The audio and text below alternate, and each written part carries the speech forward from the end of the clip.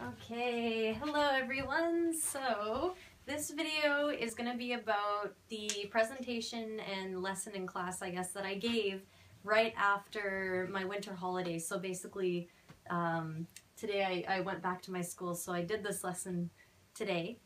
And uh, it turned out pretty decent. The school that I um, taught these in, or this, this lesson in, it's a little bit lower level English academically. It's it's definitely more of like a sports um, non-English school. so uh, I had to kind of uh, change the lesson altogether all, altogether to like uh, teach this specific class. But anyways, so um, this lesson starts by um, or it starts with me explaining my winter holiday and then the second half is the New Year resolution thing. So um, before I begin, I do want to say that I did only teach this in grade 7, or equivalent here is grade 1 in junior high school, so uh, that's kind of the level we're working with. Anyways, okay, so this is basically how I presented it to the class. So the first thing I did was I did my greeting. So, all right, everyone, please stand up. Good morning. How are you? Perfect, I'm fine. Okay, please sit down. Now, what did you do for winter break? What did you do for the holiday? So I asked, did you go outside Kyoto? So maybe Osaka, Kobe, somewhere outside Kyoto. I had students raise their hands and say, yes, I went, or, and then they'd say the name of where they went. And then um, I also asked questions like, did you eat special food? And a lot of them were like, yes, we had the rice cake or the soba, which is like a New Year's thing. Some people had KFC for, for uh, Christmas dinner. Um, and then I forgot the other ones I asked, but just basic questions about the holidays. And then after that, I was like, okay, so let me show you what I did for winter holiday. And of course, I don't know if any other ALTs get this, but whenever I say show you, they always like giggle because show you is also soy sauce. and I say it all the time. So sometimes I'll just joke. I'll be like, okay, let's, uh, let's, I, I will show you this presentation, Kikkoman, or just random things like that. But anyways, okay. So this is my presentation. So I have me in um, Elsa from Frozen cosplay. I photoshopped a Santa hat over it and I put Merry Christmas 2015. And then, okay, so I start off by saying I went to Arashiyama in the bamboo forest. The bamboo was very beautiful. Um, I went to Kiyomizudera. Um, it's a very beautiful temple, but uh, part of it was under construction, so we weren't able to see all of it. I went to rural Kyoto, so just outside the city uh, bounds, boundaries or whatever. It was all like farmland and, and beautifulness and it was wonderful. Um, I went to a pet store and I found gophers. They were selling them for equivalent to like 350 bucks, but back home in Canada, these things are like everywhere. Um, we, my husband and I saw Star Wars and like the new Star Wars movie, and we had caramel flavored popcorn. At this point, I asked the students, do you like caramel popcorn? Do you like? Raise your hand if you like caramel popcorn and they, they would respond. Um, I told them that I bought a, a kimono. Um, I went to the, the sushi where it goes around um, the belt. Uh, I told them that my favorite sushi was katsu chicken sushi, and a lot of the students were like, "What? That's that's weird." And I was like, "Yeah, but it's so good." Uh, and then I told them I had yakiniku for the first time. Um, and then I said, um, we, my husband and I, went to Osaka Aquarium. So we went on Christmas Day, Christmas Day, and we saw many fish. I love fish, absolutely love fish. And then showed them the penguins, the whale shark, and a lot of these animals, I was asking for the names in Japanese. I was like, how do you say this in, in Nihongo? And then we kind of exchanged the, the names. So um, I say it in uh, English, Japanese, English, and then they say it in Japanese and English. It's good practice. And then here's me petting a shark. Um, we came across a scuba Santa, so there was a scuba diver dressed as Santa Claus, which is really cool. We got a picture with that person. And then later we went to Universal Studios, USJ, uh, Universal Studios Japan, in Osaka. And I showed them, like, there's a lot of rides and a lot of people. We saw the big giant Christmas tree. It was really beautiful. We went to Harry Potter World. So I told them that we went with our friends. Um, this girl is Japanese and this guy is uh, Canadian. And um, she loves Canada and together we went to USJ. And then Harry Potter World told them that I drank butterbeer in Harry Potter World. Butterbeer is amazing, by the way. If you ever get the opportunity to try butterbeer, you have to. It's so good. Okay, and then I showed them that we kissed Spider-Man. So Spider-Man, there's like a, a sculpture of him hanging upside down and then you can pose with it. Uh, and then I told them for New Year's, my husband and I watched a horror movie. We didn't really celebrate with friends. We stayed home and watched a horror movie, and then we played video games. And we had cake. This is New Year cake that we got from the convenience store. And I told them that I made poutine, Canadian poutine, um, using fries, a different kind of cheese, and then gravy, which we made out of like soup stock.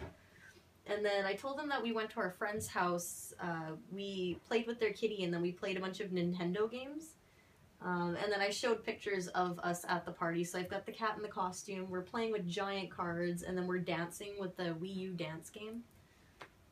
And then the very last slide here I have is my um, my husband cleaning out the fridge, putting uh, garbage into the garbage, and I basically said, so after near the end of my holiday, that's when I cleaned my entire apartment. Everything is nice and clean now.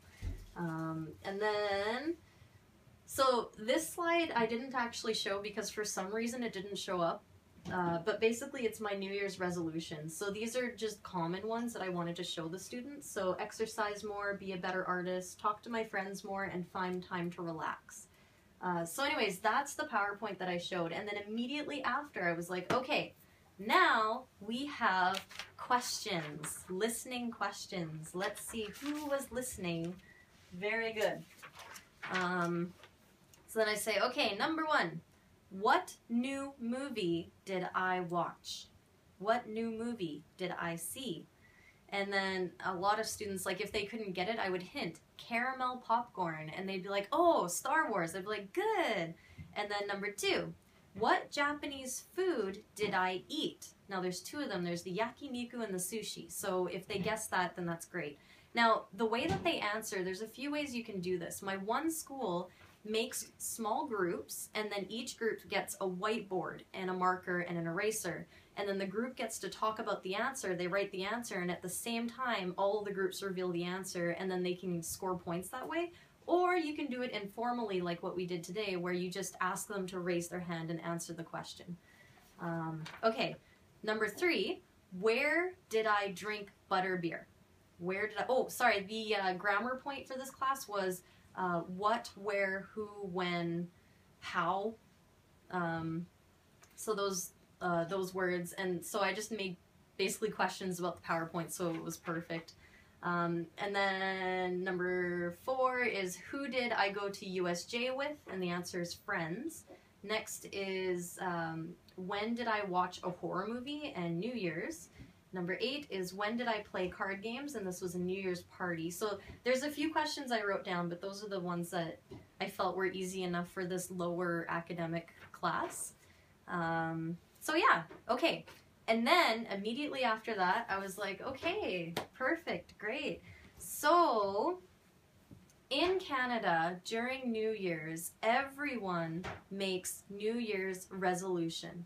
They write a goal for 2016. So I'd write on the board 2016, my goal is. And um, that's basically, okay, I showed them I showed them this and I said, okay, so my 2016 goal is, right, right, right, Happy New Year.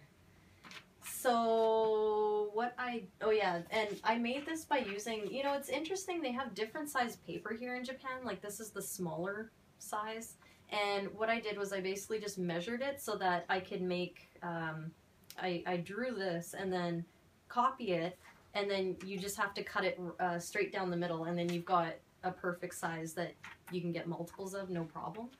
Um, but anyways, okay. So I put this on the board and I was lucky enough to get the help from a teacher where she wrote the translation in uh, Japanese.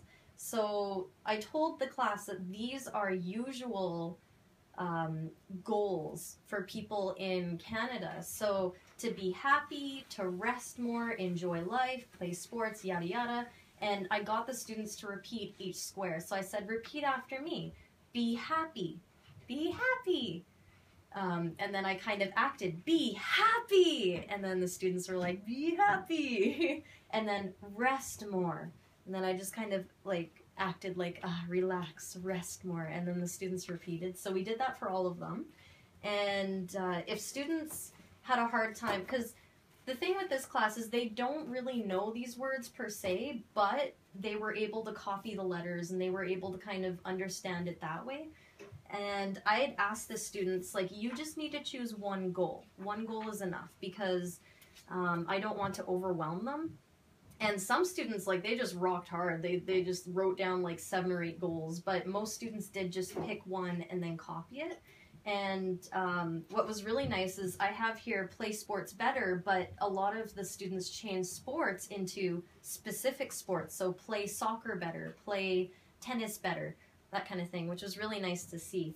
So, anyways, after the students repeated me on this dialogue or these words, uh, we had this on the board, and then we basically the my partner teacher and I handed these out to the the class and uh, we basically told students to get started. They had to leave this last line here for their name. So they wrote their name down here, and then up here was like whatever your goal is for 2016.